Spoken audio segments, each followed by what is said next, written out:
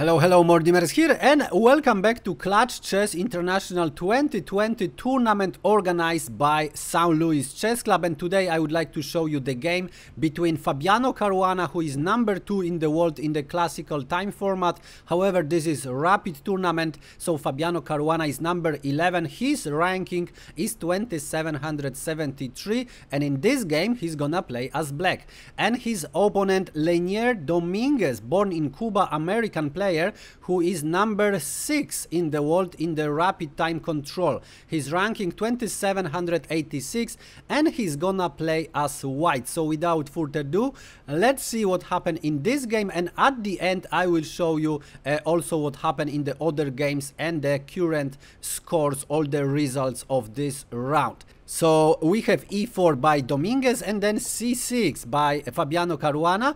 Uh, we haven't seen Caro-Kann defense for a while. I think last time on my channel there were a couple of games from Tata Steel where, where Artemiev liked to play Caro-Kann defense. We have d4, d5 and here uh, knight on d2, knight on c3 are possible. Of course exchange variation this is also possible. Even f3 is possible.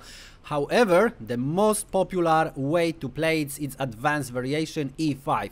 Very similar to a French advance, uh, however there are a couple of differences. The first difference is the bishop can go to f5, so it's not stacked on c8, so this is a good for Caro-Kann. However, the problem is after playing e6, uh, c5 has to be played, uh, you know, against this pawn chain, uh, and that means black gonna make, you know, two moves with the with the black. So that's definitely one tempo down. However, uh, this is how Caro-Kann is we have h4 and according to the modern theory this is the the best for white at this moment. We have h5 answer not only blocking h4 but also creating a very nice outpost on f5 the knight can jump to f5 in the future uh, and cannot be attacked with for example attack of, on g4 so this is the you know some deeper idea. But there is also some problem with this move because h7 uh, was protecting g6 uh, and now g6 is slightly more weakened. So first bishop on d3 attacking the defender of, of, of g6 on this diagonal. Uh, we have bishop on d3 and now queen on d3. And as you see, g6 is not so strong anymore. Now any moves like e6 are possible. So e6 is played by black. Uh, and now bishop g5 is the, is the most popular move, uh, followed with the queen on b6. However, we have knight on f3. Uh, and here we have a very, very critical moment of the game uh, because according to the theory, queen on a5 is playable, queen on a5 is playable. Even this plan knight on e7 uh, following with knight on f5, these are good plans. However, Fabiano Caruana play let's say the novelty, but actually this is a huge inaccuracy in the opening because he played bishop on e7. Bishop on e7, the idea probably is, you know, to prevent any moves uh, like bishop on g5. Uh, so that's the idea. However, the knight cannot jump to e7 and, and you know, naturally develop to f5. It can go through h6, but then it can be also taken with the bishop. So as you see, not really great move bishop on e7, but it's still not easy to, you know, exploit that. Uh, but Leinier Dominguez did that. And he play c4, very natural move uh, in the spirit of this opening. d takes on c4, queen takes on c4, knight on d7, and now important move, queen on c2. Queen on c2. Uh, it's actually the move against c5. Can you see that? Maybe not, uh, because after c5, which was played by uh, by Caruana, as I said before, knight on h6 with this plan uh, could be met with just bishop on h6 and there are no uh, knights on f5 anymore, okay? Uh, for example this way and white are totally fine black have to be careful with the king king probably gonna stay in the center uh, and this can be problematic. However, c5 was played by Caruana, also very natural move, and now the storm is coming. Uh, the most aggressive way to continue is d5, d5. You see that already? Now, Fabiano Caruana thought for a couple of minutes what to play. He was shocked with this move and uh, And of course d6 is coming, so the only way he can react now is e takes on d5, uh, and now e6. The pawn is attacking the, the knight uh, and the pawn on f7, so f takes on e6, and now queen g6 with check king f8 uh, and now queen e6 winning back one of the pawns and the king is in the troubles. How to continue now? Uh, one of the ways uh, here Caruana made a couple of moves very very fast. So he calculated after d5 he calculated all of that. He could play um, knight from g to f6 okay protecting d5. This could be played, but after knight on g5, uh, there are some mating ideas, okay? So queen e8, it can be met, you know, with, with queen on e8, uh, castle, but definitely black don't want to play that position. So instead of that, uh, Caruana went for bishop on f6, still keeping an eye on g5.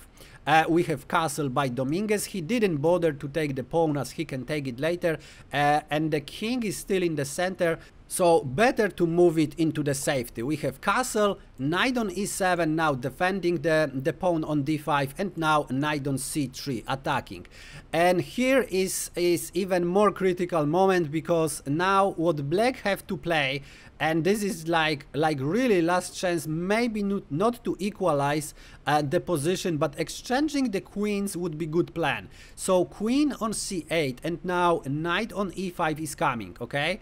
So a rook on e1 would have to be played against that uh, but still knight on b6 queen have to be moved to e2 uh, and black gonna have a little brief uh, you know to reorganize the game to solidify the position maybe give some pawn uh, uh to make you know the position of the king much safer uh, it's not easy because because there are no pawns in the front of king but probably black could try to reorganize the position however we have rook on c8 and Dominguez had the chance to to really crush his opponent with knight on b5 but he missed that he he, thought for a couple of minutes, but he missed that.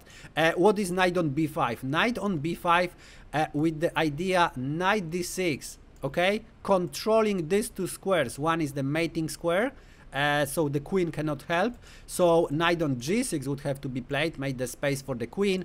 Uh, and after rook on e1, let's say knight on b6, knight can take on a7, or can jump into uh, into the game here queen on e7 and now just exchange the the pieces. So queen on e7 knight e7 win the exchange. And the game is really really comfortable for white. Shouldn't have the problems to win being exchanged up. Also uh, rook on c7 is actually the blunder. You cannot save that exchange because queen on e8 okay? And that's actually uh, a checkmate. So uh, Knight on b5, missed by Dominguez, really strong move. However, he played knight on g5. A slightly worse move, but still, you know, white stands better. And there are, of course, a mating idea on f7. So we have bishop on g5, bishop on g5, and now rook on c6, kicking the queen. Uh, so queen have to be moved. Where to move the queen? Uh, probably the best idea is to win back the pawn. This is what Dominguez did. So we have bishop on e7, queen on e7, removing of course defender of, uh, of d5, and only now queen on d5. Knight on f6, attacking the queen, and now queen retreat to f3, and the knight is pinned. Uh, and cannot move of course. Uh, king on f7 making a space for the rook so rook can enter the game. Uh, and now rook f on e1 now these rooks can actually you know come to the center and control all the center uh, rook on e6 is possible and actually is recommended by the engine uh, but Caruana probably didn't want to lose the pawn because after rook on e6 uh, of course queen on e6 if king then rook coming skewer the king win the queen uh, so queen on e6, queen b7 wins the pawn, okay? Uh, and if don't want to lose another pawn, uh, the queen has to be exchanged. Uh, and white are being up the pawn. Uh, also, these pawns are disconnected, so very comfortable position for white. So instead of that, we have queen on d7 avoiding the exchange. Knight on e4. Now knight is going to this powerful outpost on g5 uh, as this knight is pinned. So it cannot be attacked. We have king on g6 unpinning and now knight g5. Uh, and here rook d6 so white uh, cannot you know control uh, open d file. However uh, they still have you know uh, e file to to maneuver. We have queen on c3 by Leinier Dominguez. And now the idea it looks like the idea should be queen on c2 uh, and this is pretty annoying as this knight is already controlling a lot of squares here. The knight for now defending h7 uh, but if this rook is moved black have to be careful about that knight. Uh, if the rook can exchange the, the knight, that could be, you know, pretty dangerous. Uh, but at the same time, this queen just simply attacks the c5 pawn.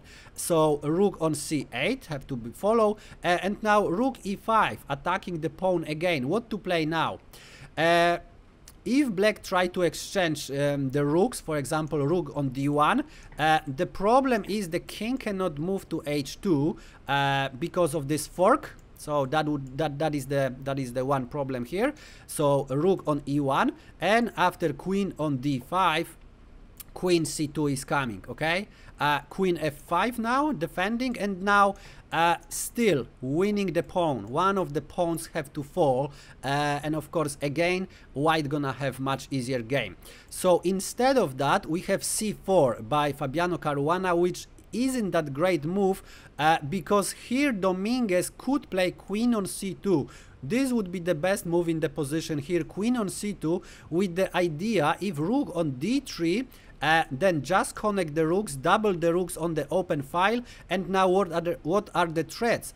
Rook on e7, this is the threat, okay, so queen have to be moved, then knight jump on e6, uh, and then this rook can attack on g7 and this is very serious threat. Also uh, if the if the if the rook going for example to defend on g7 then this pawn is without the protection and then this rook would hang Okay, so that is the problem. So b5 first, and now rook e7 attacking the queen. Now queen have to be moved. So for example, queen on uh, g4, uh, knight e6 as planned. And now, yes, rook can defend. The problem is knight on c5 winning the exchange so again this way or another white gonna win the exchange and if this queen moves for example to f5 uh, which uh, would make sense but it doesn't work uh, because after rook on e7 queen f5 uh, we're gonna have rook from the first rank to, to fifth. So the queen has to be moved.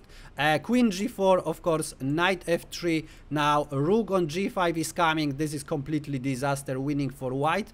Um, and now if queen on f4 let's say then rook g7 this is also crashing a king cannot take the rook because of this fork. So all of this position uh, as you see uh, after c4 queen c2 would be would be really really powerful. However we have rook a on e1 by dominguez so he connect the rooks and now maybe queen on c2 can be played.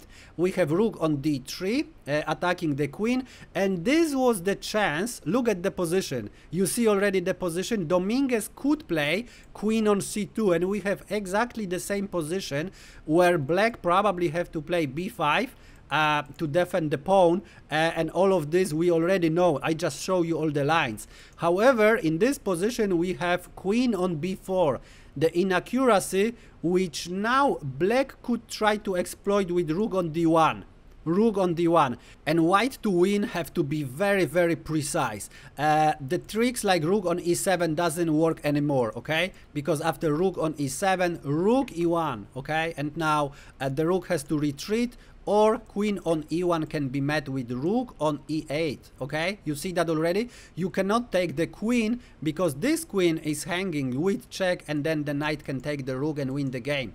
So rook on e8 queen e8 and this is completely drawish drawish position. So uh, rook e7 would not work.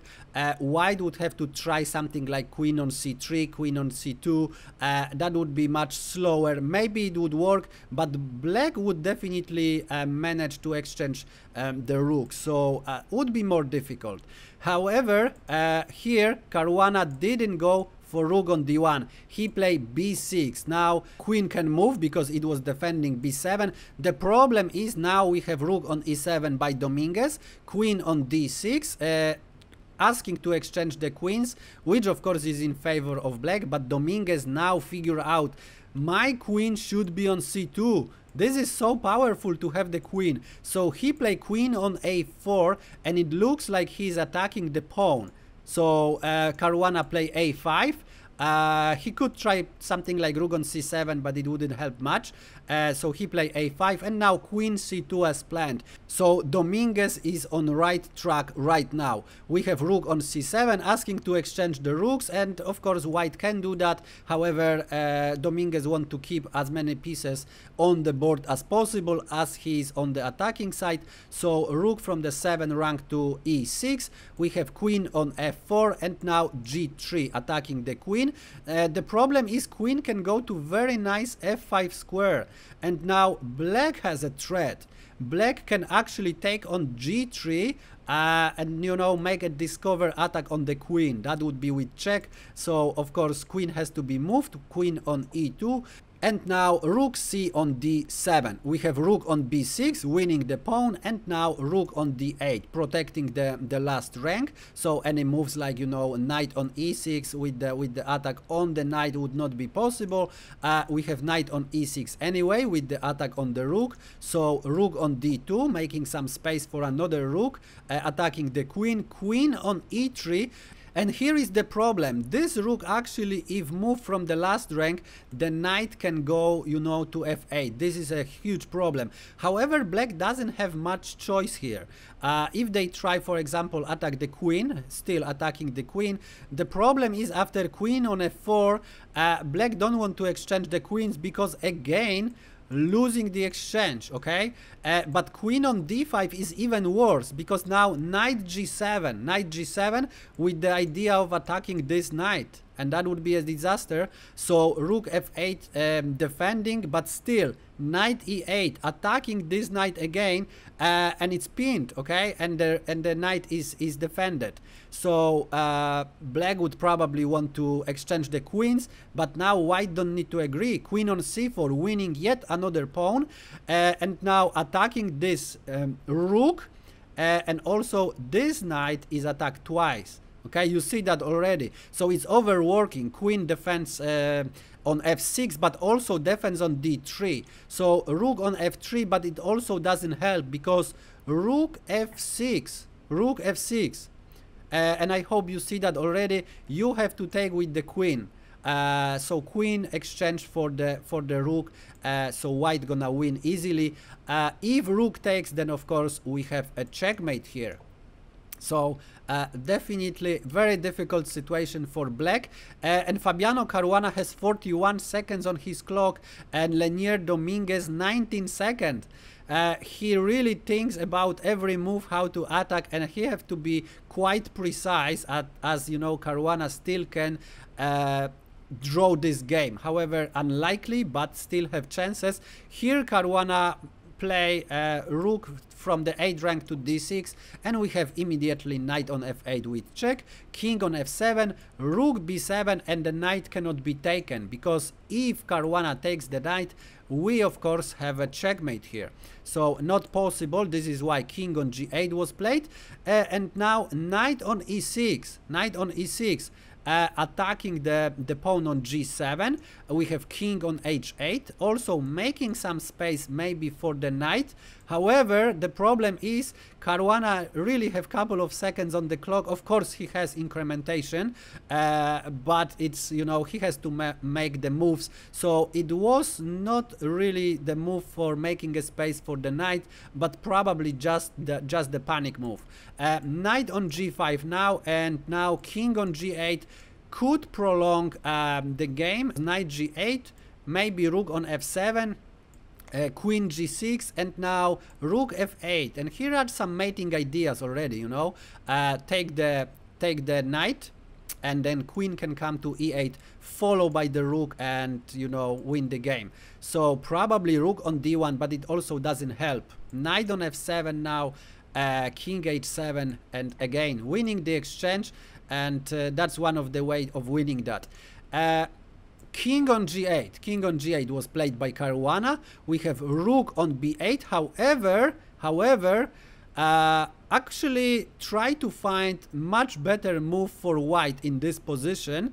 Uh, you can, you know, pause the video while I enjoy my cup of tea.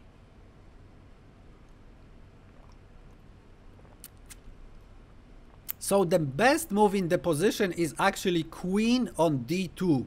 Queen on d2, just winning the rook, okay? Simply winning the rook. And now rook uh, cannot take the queen because we gonna have the checkmate. This knight covers f7 and h7. So that would be a checkmate. What black can do is just throw some pieces, but it's still a checkmate. Uh, also, queen on c8 doesn't work because white gonna win yet another rook and the game two rooks up of course is enough. Uh, this queen cannot take the rook because we're gonna have a checkmate anyway.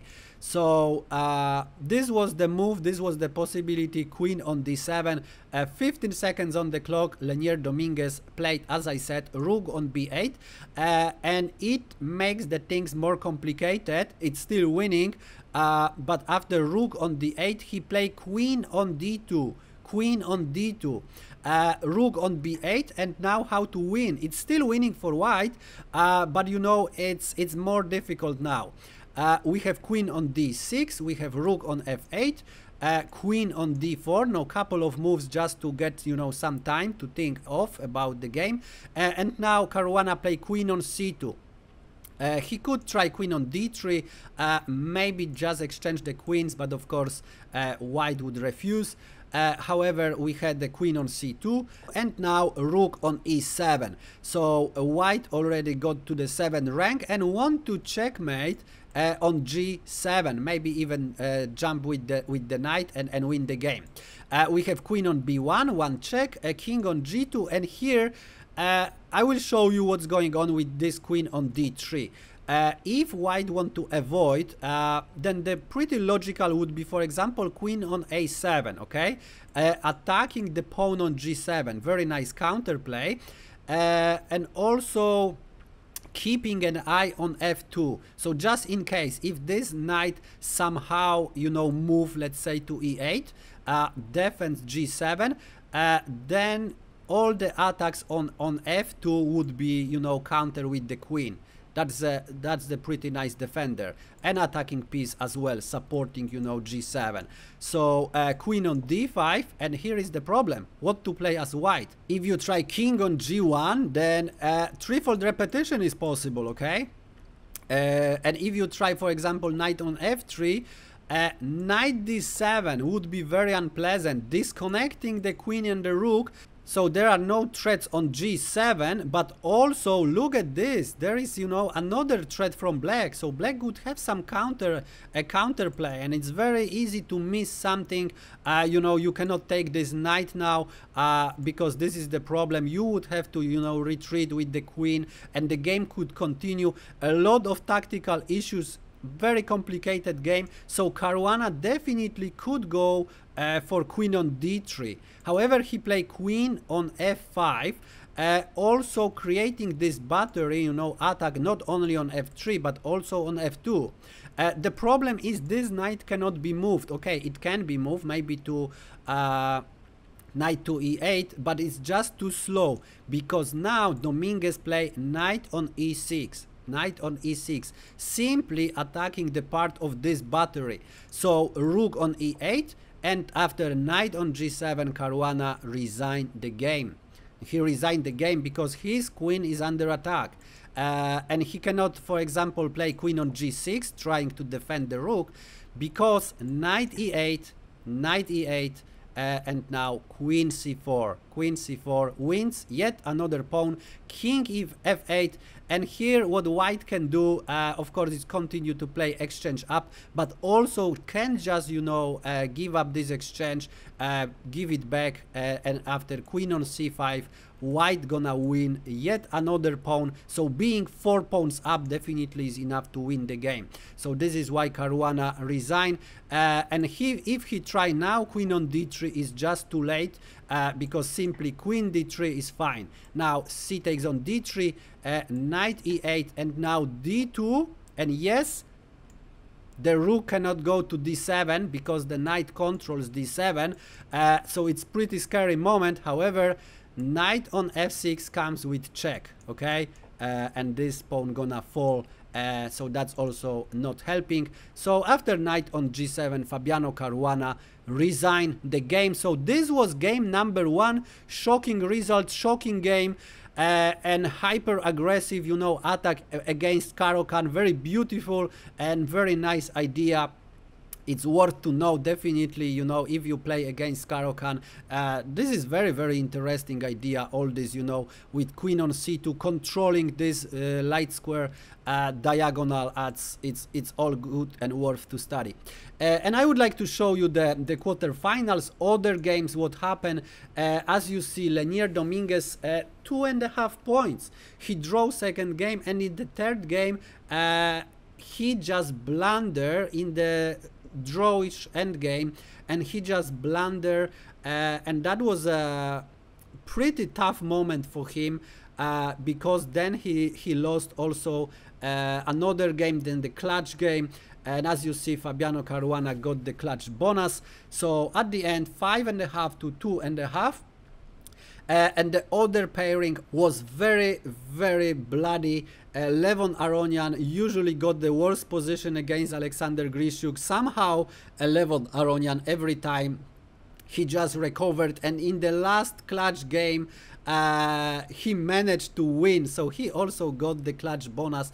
Uh, in couple of games Alexander Grischuk really had uh, in one game he sacrificed the rook for the for the attack but Levon Aronian just managed to draw that game and then in the in the clutch game he won uh, and it was 3 a.m. for him uh, but but he still you know played really really great chess so now we're gonna see another games between Magnus Carlsen and Jeffery Xiong uh, decisive games and last two clutch games gonna be awarded with three points so everything can happen and also Maxime Vachier Lagrave gonna play against Wesley so so stay tuned and if you like this video video press like. If for some reason you don't like it press unlike and leave the comment. How do you like this format you know of the of the tournament? I'm very interested.